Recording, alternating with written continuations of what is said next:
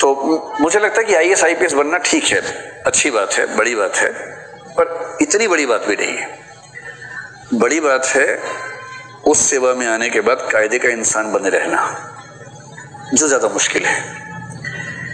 तो श्रद्धा से मैं कहूँगा कि दो पक्षों पर थोड़ा सा डिस्कस करें। एक तो ये कि कैसे वो मैनेज करती हैं इतनी बड़ी जिम्मेदारियों को अपनी अन्य जिम्मेदारियों के साथ? और दूसरा, जब इतनी बात हो ही रही है तो ये बता ही दें कि बारहवीं फेल लड़के में ऐसा क्या देखा था?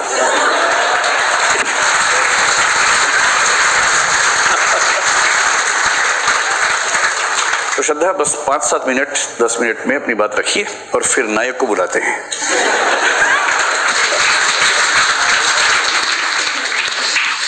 Thank you sir respected Vikas sir Anurag ji Manoj ji और और सारे आगे बैठे हुए बच्चों। ये जो बात है कि बारहवीं फेल जो इंसान सर ने बोला कि उसमें आखिर अब क्या चीज़ ऐसा था तो वही बात है कि जब हम उस तरफ़ बैठे होते हैं तो जो सपना, जो जद्दोजहद, जो संघर्ष करने की ताकत और असीम एक ताकत लेकर जब हम बैठे होते हैं, एक जो ऊर्जा का बिल्कुल एक गुबार हमारे अंदर होता है वो जो ताकत है, वो जो कॉन्फिडेंस है कि हम जीत जाएँगे, वो जो कॉन्फिडेंस है कि हम चढ़ जाएँगे ऊपर तक, वो सबसे ज़रूरी भी है और वो सबसे आकर्षक भी है। तो मैं मनोज जी से जब मिली थी तो मुझे जब ये बात पता चली तो मुझे इतना आश्चर्य हुआ, क्योंकि उनमें इतना ज़बरदस्त आत्मविश्वास था, एकदम जैसे रास्ता एकदम क्लियर दिख रहा हो। कहीं कोई डगमगाहट नहीं कहीं कोई घबराहट नहीं। एकदम क्लियर ये दिमाग में था कि नहीं मुझे बहुत आगे जाना है। नहीं मुझे करके दिखाना ही है। तो वो बात मुझे बहुत एकदम मन को छू गई क्योंकि जैसे मेरे दो, पेरेंट्स दोनों ही टीचर्स रहे हैं तो वो हमेशा एकदम मेरे फादर तो एकदम उनको देखते ही हम लोग घबरा करके किताब लेके बैठ जाते थे। लेकिन एक ऐसा लड़का जो बिल्कुल जहाँ चंबल का माहौल आप लोगों को पता है लेकिन वहाँ पर जो जज्बा मनोज के अंदर था जो संकल्प क्षमता जो मनोज के अंदर थी, जो ताकत उसके अंदर थी, वही ताकत जब हमारे अंदर आ जाती है, जब हमारा सपना एकदम क्लियर होता है, कोई धुंधलाहट नहीं होती, कोई बादल नहीं होता, एकदम क्लियर आसमान में उगता हुआ सूरज हमको दिखाई देता है, बस उसको टच करने की वो दूरी हमको तय करनी रहती है तो फिर हमको कोई ताकत दुनिया में रोक भी नहीं सकती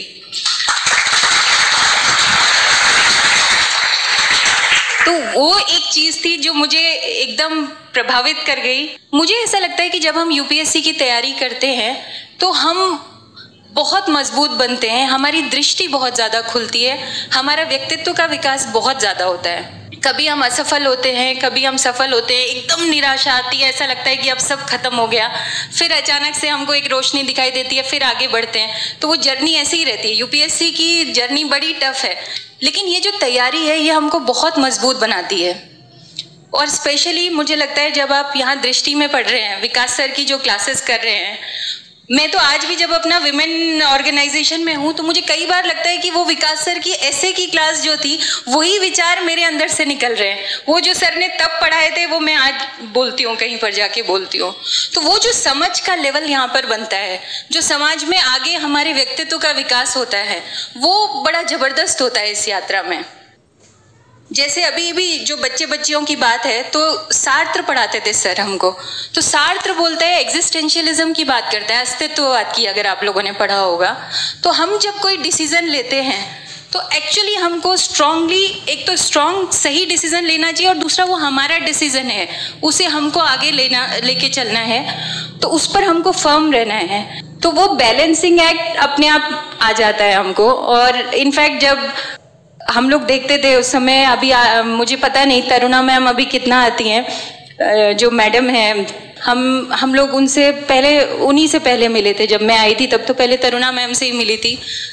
Very impressive confident dynamic and ऊर्जा से भरी हुई। तो जब हम लोग इन लोगों को देखते थे तो वो जो संतुलन, वो जो गजब का कोऑर्डिनेशन वो जो हम लोग देखते थे, वाकई में it was so very impressive तो हमने खुद बहुत कुछ सीखा है, सर और मैम को देखते हुए। सर से तो बहुत सारी चीज़ें सीखी हैं। सर का सर का की कोचिंग में पहले तो मिले ही हैं तो लाइफ का सबसे बड़ी हमारी माइलस्टोन ही ये कोचिंग है। और सर से बहुत सारी चीज़ें सीखी हैं। सर का इवन अभी भी इतने सारे कहीं पर भी कोई अप्रिशिएट करे या कुछ भी हो, अभी सर ने जो बोला, आज भी वो इतना रोमांचित करता है। अगर सर के मुँह से प्रशंसा का कोई शब्द निकल जाए तो सर का जो लेवल है या समझ का जो लेवल है, उस यात्रा में हमने इतना कुछ सीखा है, दृष्टि में, पढ़ने में इतना कुछ सीखा है। और फिर वही बात, कभी आप असफल हो गए, कभी सफल हो गए, लेकिन जैसा एक उपन्यास में भी एक जगह लिखा हुआ है कि चाहे हम उतना उड़ान एक बार भर पाए या नहीं, पर पंख बहुत मज़बूत होते हैं उस यात्रा में। तो wish you all very very best